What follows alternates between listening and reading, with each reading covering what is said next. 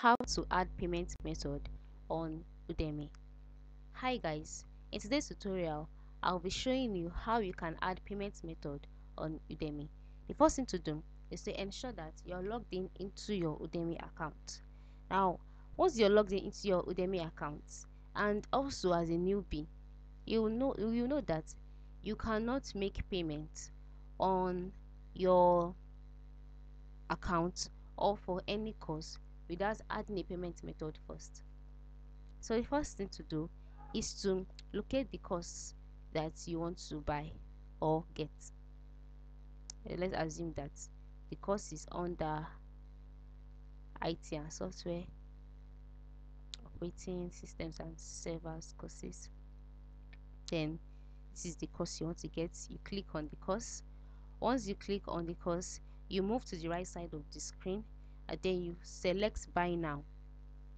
Once you select that on this page where you're to check out you'll see payment method.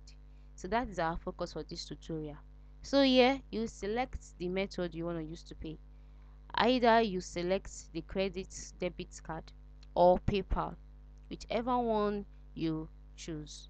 So all you need to do to add the payment method is to click on the one you want to use so for me i'll be using credit or debit card.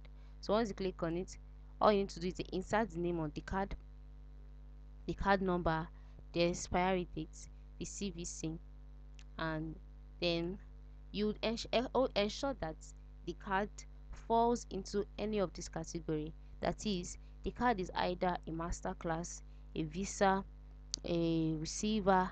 If it doesn't fall into any of this category it cannot be used to ensure your card falls into any of this category. Then once it's entered, you come over to the right side of the screen and click on complete checkout to make your payment. Also note that your card will be charged this amount. So when you're debited, do not do not be to be scared. You're the one that entered your card details here. So if you want to use PayPal, all you need to do is to click on PayPal. That is this circle just click on this way and then but you can just use your paypal. But for you to use paypal you have to ensure that you have a paypal account and you'll be redirected to paypal to make your payment. So for paypal once you select paypal you can see that the box here has been changed to proceed.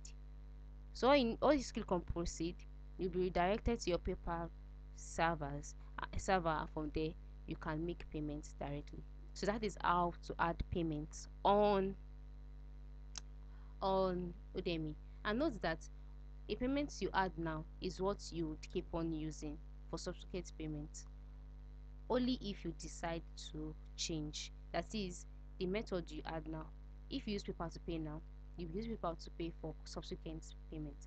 Only if you decide to change it yourself. So thanks for watching